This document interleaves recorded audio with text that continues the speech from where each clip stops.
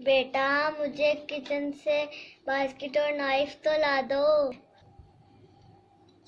भाई मम्मा ने आपको आवाज़ दी है।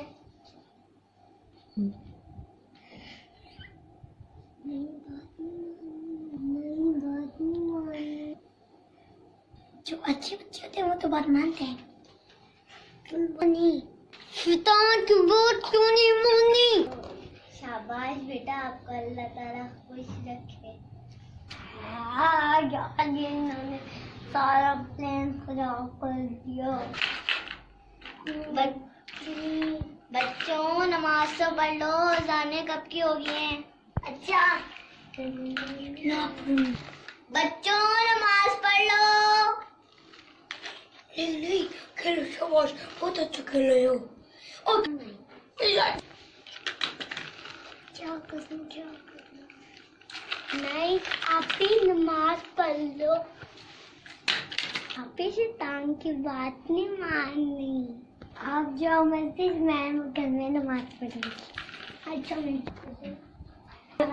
आज मेरे बच्चों बोलो। सारा प्लान खराब कर दिया इन्होंने मेरा। है। खड़े किया खड़े होके पी लो बैठना बहुत मुश्किल होता है अच्छे बच्चे होते हैं, वो तो बैठ हुक्म है किस की बात नहीं माननी। अल्लाह की बात माननी है। राइट हैंड से पीना है और तीन सांसों में पीना है।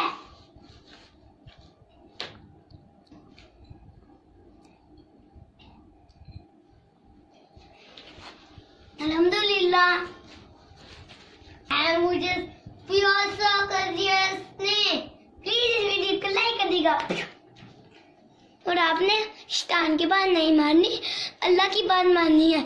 अल्लाह का हुक्म ये है कि आप लोग अल्लाह की बात मानो, मोहम्मद वसल्लम की बात मानो और रमज़ान में रमज़ान में मम्मा पापा की बात मानो।